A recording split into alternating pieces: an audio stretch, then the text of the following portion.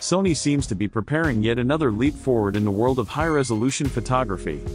According to growing speculation and credible leaks, the next addition to the company's popular alpha lineup, the Sony a7R VI, is rumored to include an astonishing 80-megapixel full-frame or CMOS sensor.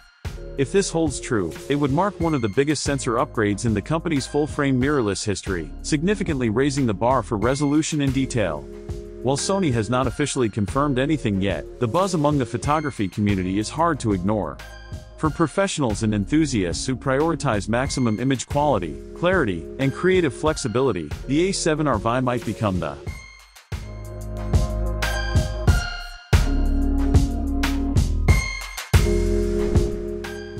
Jumping from 61MP to 80MP may not sound like much on paper to casual users, but in professional circles, this is a massive leap. Higher resolution allows for unprecedented cropping flexibility while preserving fine detail, which is crucial for commercial, landscape, studio, and fashion photographers. It enables the production of massive prints without noticeable image degradation and enhances post-processing options, such as reframing or selective zooming, without the image falling apart. In essence, more megapixels translate to more possibilities. Technologically, Sony already has the capacity to produce such a sensor. As Petapixel pointed out, Sony could theoretically scale up its existing 40MP APS-C sensor, used in some Fujifilm models, to create a full-frame sensor in the 90MP range. So an 80MP sensor is not only feasible but likely already in development or testing. The only major concern here is sensor readout speed. With that many pixels, capturing data quickly becomes more difficult. However, if the A7R VI is primarily aimed at stills photographers, some compromises in speed may be acceptable in exchange for unmatched resolution. If the current leaks and industry chatter prove accurate, the Sony a7R VI will bring more than just a higher resolution sensor. The camera is expected to feature a new 80-megapixel full-frame or CMOS sensor paired with Sony's powerful BIONZ XR image processor and dual AI processing units. This combination should ensure smooth operation even when dealing with massive image files, offering improved processing speeds, better noise control, and advanced autofocus capabilities. Another important upgrade might come in the form of in-body image stabilization. Reports suggest that Sony could push the stabilization performance up to 8.5 stops, which would be invaluable for handheld shooting, especially given the higher risk of motion blur at 80MP. When working at such resolutions, even the slightest camera shake can lead to detail loss, so enhanced stabilization could be a key factor in the camera's usability in real-world conditions. Autofocus is also expected to take a leap forward. Sony may incorporate an AI-driven real-time subject tracking system that improves upon the already impressive capabilities of the A7R VI. The goal would be to ensure that even in fast-paced or unpredictable environments, the camera can reliably maintain focus on eyes, faces, animals, vehicles, or whatever the subject may be. Video capabilities also seem to be getting a major overhaul. Despite the A7R line being primarily known for still photography, the A7R VI is rumored to include support for 8K video at 30p or even 60p, 4K at 120p, and Full HD up to 240p. These features would likely be complemented by 10-bit internal recording, with options for 16-bit RAW output via HDMI, and supported color profiles like S-Log3 and S-Cinetone. This would make the A7R VI not just a top-tier stills camera, but also a serious hybrid video tool for filmmakers and content creators who want both high-resolution photography and cinematic quality video in one body. As for usability enhancements, the A7R VI may feature a 9.44 million dot electronic viewfinder with a 120Hz refresh rate, providing an incredibly smooth and detailed live preview.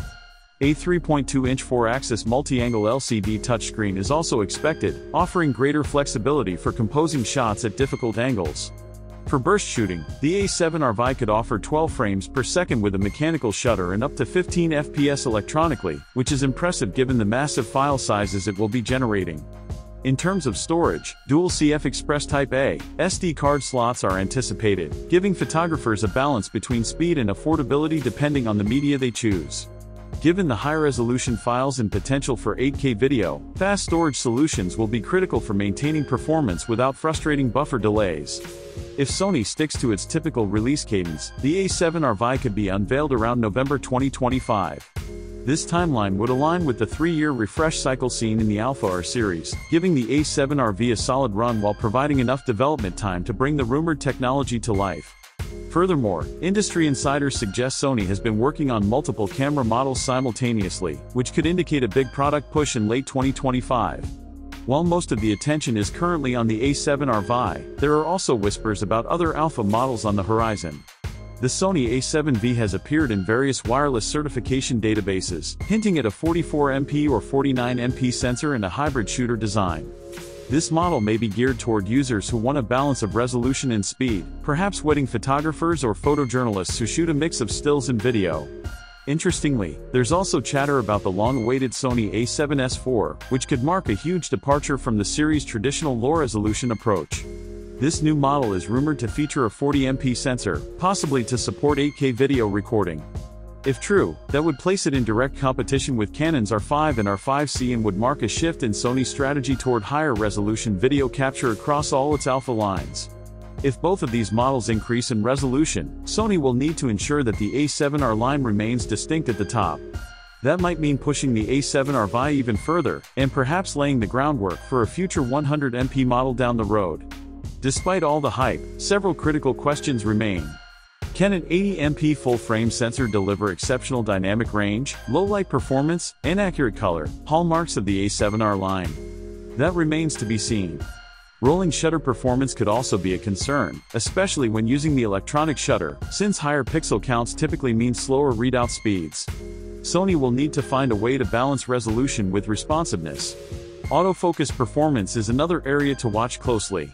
Real-time tracking has been one of Sony's strongest features, but processing 80MP files in real time puts significant strain on any system. The dual AI processors are expected to help here, but implementation will be key. Thermal performance is also going to be critical. Running high-resolution stills and 8K video simultaneously generates a lot of heat. Sony will have to address heat management creatively, possibly with enhanced heat sinks or better body ventilation, to avoid overheating without significantly increasing the camera size. And finally, pricing will be a major determining factor. If Sony can launch the A7R VI for under 4,000 US dollars, it could dominate the high-resolution market. But if the price climbs too high, potential buyers might pause and evaluate competing systems, or even medium format options from Fujifilm. Assuming the specs pan out, the A7R VI is clearly aimed at professional photographers and hybrid shooters who demand top-tier resolution and features. This includes landscape photographers, commercial studio shooters, fine art creators, and even cinematographers who need impeccable detail and color. With 80 megapixels, cutting-edge autofocus, strong video features, and advanced processing, this camera could become a staple in high-end production environments. At the same time, this release could force rivals like Canon and Nikon to accelerate their development of high-resolution full-frame cameras. Canon's rumored R5 Mark II and Nikon's Z7 III will likely be seen as direct competitors, but Sony's head start in sensor tech and real-time AI processing might give it the edge. The Sony a7R VI represents more than just another camera release, it signals a shift in what professionals can expect from a full-frame mirrorless body. With rumors pointing to 80MP resolution, enhanced AI processing, powerful video specs, and improved stabilization, this camera could be one of the biggest breakthroughs of 2025. It won't be for everyone, and it certainly won't be cheap, but for those who need the best of the best, the A7R VI might just be the next essential tool in their kit. We'll be watching closely as more information leaks out. If Sony delivers even half of what's being rumored, the A7R VI is going to be a headline-making release, and possibly one of the most talked about cameras of the year.